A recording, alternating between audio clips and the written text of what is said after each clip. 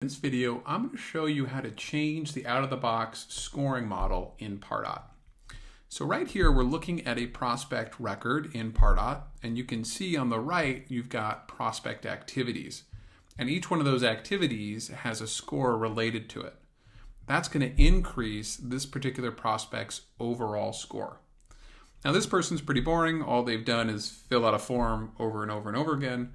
But more often, you're going to see a mix of activities here. People who are viewing different web pages, filling out forms, clicking on emails, opening emails. All of those things are prospect activities that have a score related to them.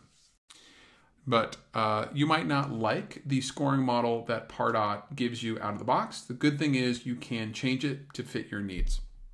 So to change that activity scoring model, go to Pardot settings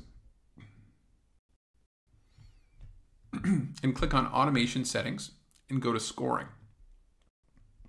Here's our scoring rules. So by default, this is what you're going to see.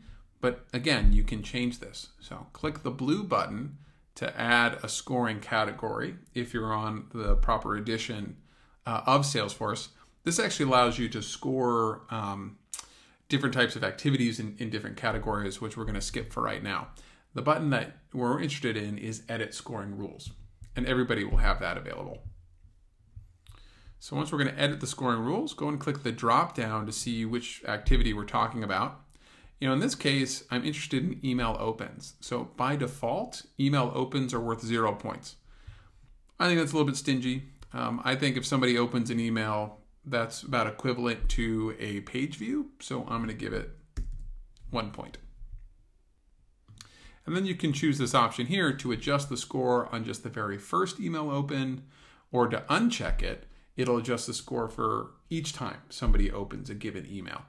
Now, I prefer that they only get credit if they opened it once, so you can check that box. And you can add additional scoring rules to change their values if you'd like here. You know, I think I'll do that with um, form handler or form error right here, negative five points. I think if somebody gets an error on a form, that doesn't mean that they're not interested, that they're any less interested in my services. So I want to change that to zero actually. So I'll choose form error and change that from negative five to zero. Go ahead and save changes. Now, when you adjust your scoring rules here, it works retroactively. So it's going to apply across your organization and apply to all of your Pardot prospects based off whatever activities they've taken up to that point.